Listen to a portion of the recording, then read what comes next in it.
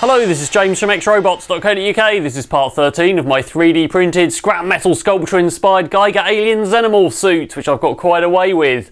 Last time we worked on the tail, which I've got just here, which came out awesomely. And this is loads of 3D printed sections attacked, uh, attached to foam pipe insulation.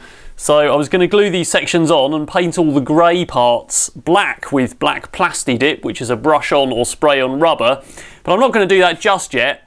So I need to pay particular attention to the spacing and how much pipe lagging is sticking out of the end here where it attaches to the body.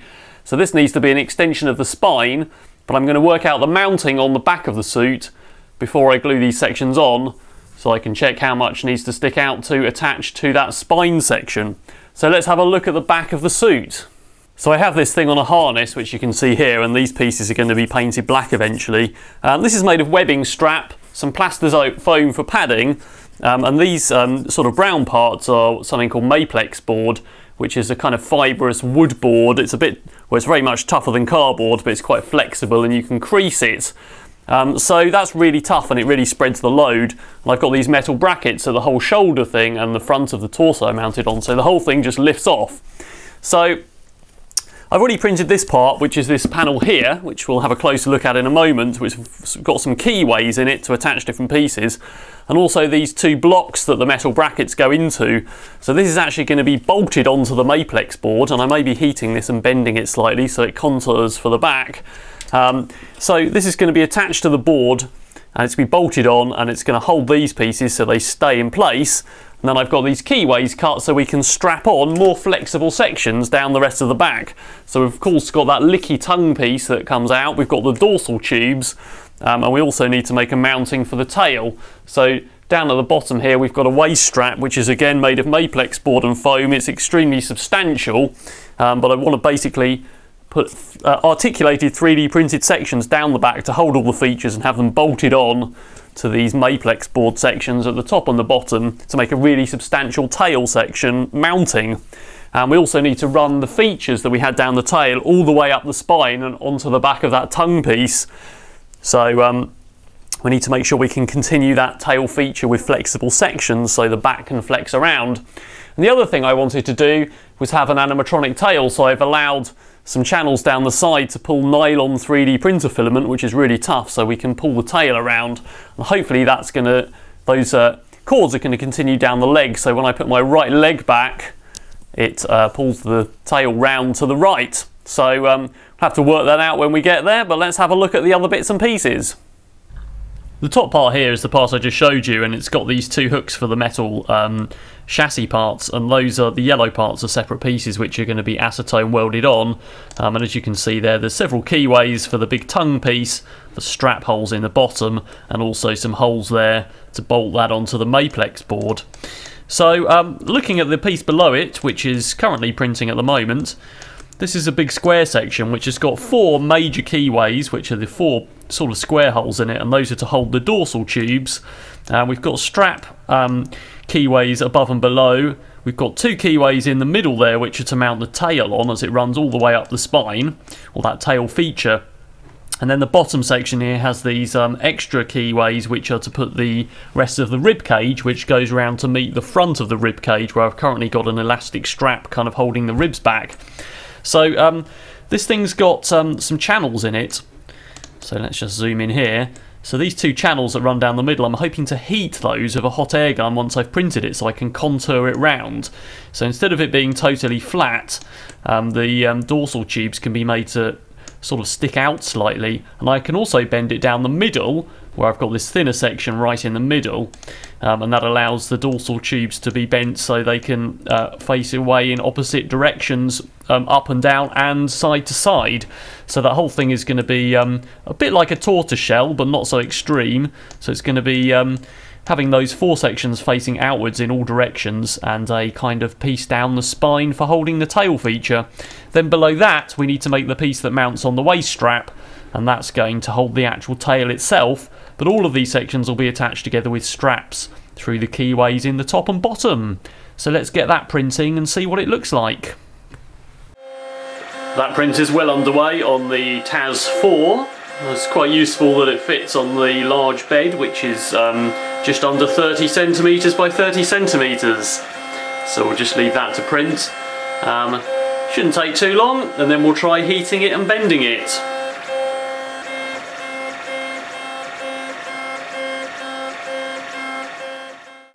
Here's that piece that I've just printed. It took about four and a half hours. So obviously it's totally flat at the moment, but what we want to do is bend it along these lines and across the middle there, so it's kind of bent in all directions. And these four square holes are for the dorsal tubes to attach. They obviously need to point out in um, very slightly opposite directions. So we're going to heat this up with a hot air gun and just put those bends in very gently. So the plan is to use this hot air gun to just heat along that seam. Um, this isn't very directional though, so I'm going to use a steel ruler and I'm just going to shield the rest of this so I can heat down here just a bit and then we're going to put it over the edge of the table and just bend those two very slightly.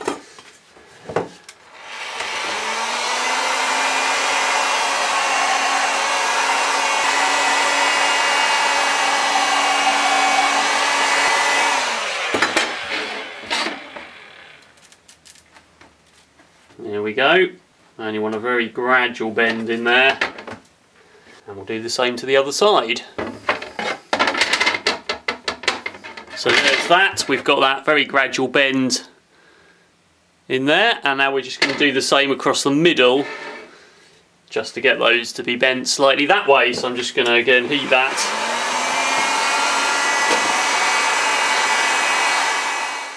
I've just velcroed that piece on there with the um, strap keyways that I left so the first piece is bolted on now I've taken off the shoulder harness with the metal brackets so that now follows the contour of the back quite nicely. Um, and as I said, these four keyways are for the dorsal tubes to be attached, which are going to curve down and up and in that typical shape.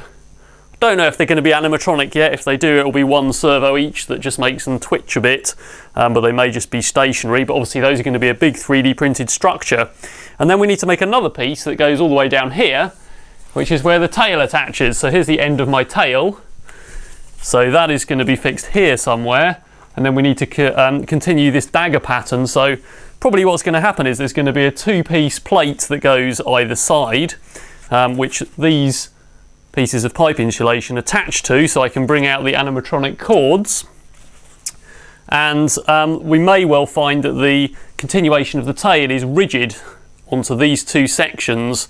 So it continues up in the small of the back of the wearer and actually this is braced against it so um, that just stops the tail sort of turning the wrong way and we've actually got some bracing so we've also got these two holes in the side which clamp round to the side of the ribs and those are going to have some big rib structures on a bit like that either side so this whole thing is going to be held fairly firmly on the back and um, the sections here are going to be bolted onto this piece of Maplex board so those of course need a feature to run the animatronic cords over to go down the legs. So they need to be fairly well braced and it's likely they'll meet up at the front with two more sections that hold the ab plate and those other parts.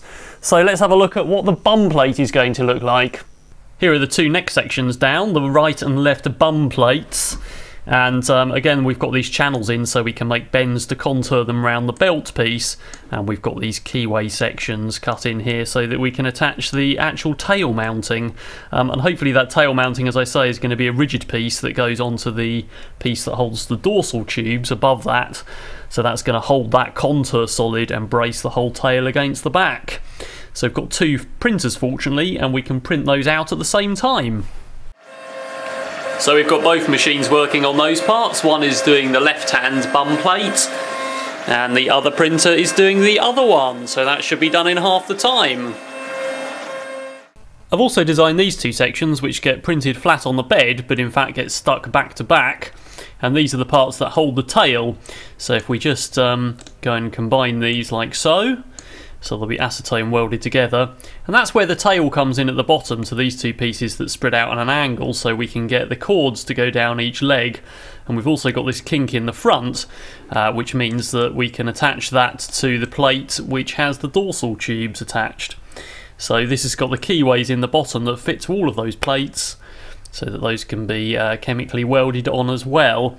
And that makes up the sort of structure of the lower back The two side panels are done here, which of course again get bent here to go round. So this comes onto the hip and there's going to be a feature there which I'll stick on afterwards which allows the um, nylon cord from the tail to be pulled down the leg. So I need to set this angle and um, I need to do that based on the tail mounting. So I've also printed the two parts which I've got here. Um, spot the deliberate mistake though, obviously I've printed two the same um, and now they don't fit back to back. So somehow I generated a mirror of the piece, generated two sets of G-code, and um, I thought I put them on separate printers, but um, having looked at the prints multiple times during the printing process, I didn't notice in fact they were identical. So I now need to print another one, and then I can stick those back to back. But I can work out um, what to do about how much I need to stick on the tail there. So taking the end here we can see how much we need to reveal so we need quite a bit more to stretch that out at each side to go into the two tail mounts so we can get all these sections stuck on the tail and get this painting up while the correct one is printing and then we can mount it all together. Here are the correct two halves that I've now got for the um, tail clamp piece which um, then attaches to the bum plates. So uh, one of these goes each side where I've got these keys and that piece curves up to go to the small of the back. So we'll get those acetone welded together and we'll get that glued onto the tail. And then hopefully once the tail's all painted up we can assemble it onto the rest of the suit. I've got as far as gluing most of these pieces onto the tail here. So these are all stuck on and I've used Gorilla Glue to do that. This is expanding glue that expands into gaps. So there's quite a few bits of expanded Gorilla Glue but they just snap off. So we'll clean those up shortly and I've done the same to this half of the tail as well. So now I've got this piece we can go and glue that on here.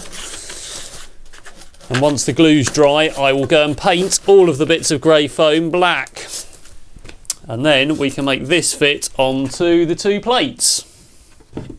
So I've got the mounting stuck on this end and I've got my whole tail here. So there's that mounting glued on um, and everything's looking really good so now we need to paint the grey sections black. So I've got two products. The product I was going to use was uh, Black Plasti Dip, which is the brush-on version.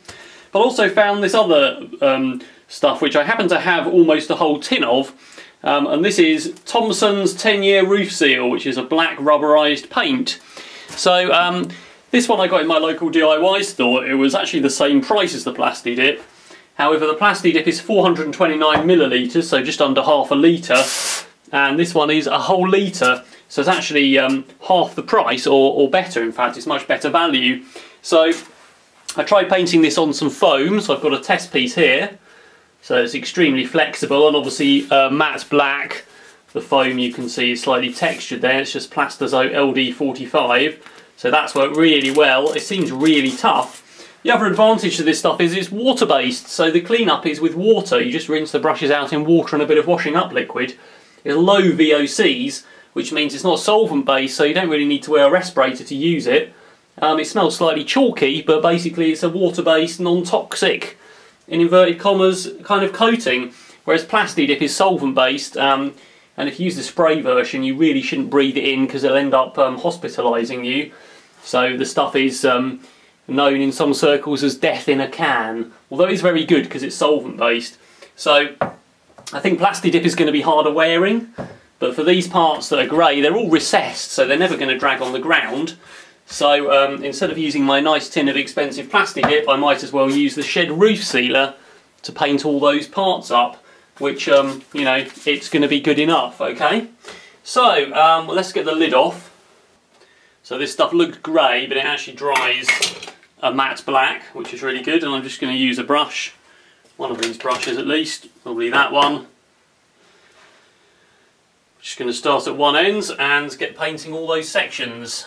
And we need to spread it quite thinly so we don't pull the stuff anywhere and we'll need to just wipe it off where we've got it on the plastic.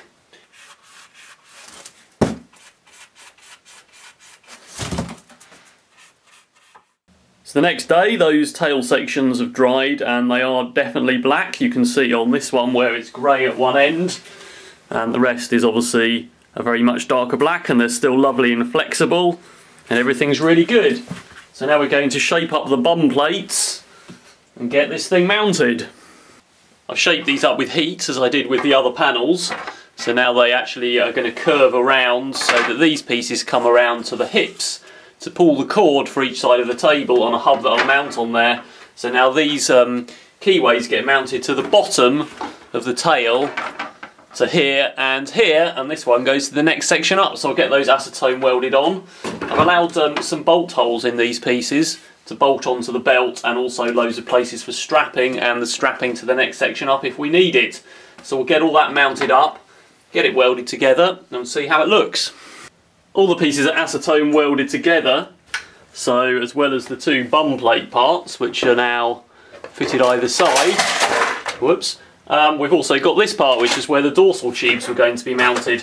So um, due to the part here where the tail is mounted we can see there's a slight angle up there which goes into the small of the back. So we can now put this back onto the suit, bolt this onto the belt and we should be sorted. Okay, so here's the tail all in one piece. There's a slightly dodgy kink just halfway down because I haven't glued the two sections together yet. But that'll be much smoother when I have. And there we go. So for now I've still got my piece of elastic that attaches to the ribs just um, brought over the back here but as I mentioned before these two holes will have some rib sections mounted and I've also of course got the mountings for the dorsal tubes and the big licky tongue and this feature will carry on all the way up the back. So in terms of the animatronics the plan is to use nylon 3D printer filament in black which I've got some of here and that's going to be fed down some Teflon tube. And that tube is going to go down inside these um, bits of pipe insulation all the way to the bottom and then that tube is also going to continue over the features on each side. Unfortunately my tubing isn't quite long enough so I've got some more on the way um, so I can run that all the way down practically to the end of the tail. So I can't get the animatronics working for now and I really need to know what those angles are like pulling this on each side. And for now I haven't bolted this to the belt, it's just velcroed on each side to some other loops on the belt, but it seems fairly sturdy, so I'm hoping that force of pulling that over my leg is enough just to twitch the tail at the bottom. The other observation of course is that these are very, very much look like very square chunks of plastic and they're not as organic as the rest of the suit which has got all of these curved parts on and so on. Um, obviously these are going to get covered up with the dorsal tubes and the ribs and the big licky tongue and the spine piece. So in fact these are really just mountings. You're not going to see much of these square sections by the time the rest of the features are added on there. So that's all I'm going to do in this project. I need to wait for those tubes to arrive so we can try and sort the tail out. I also need to consider whether I just glue two halves together or whether it's detachable for transport because the whole thing's actually really long. Um, it's more than two meters long including these back sections but of course these are detachable from the suit so the worst is I have to take the tail with these two sections um, and hopefully it will loop around for taking it in the car or something like that.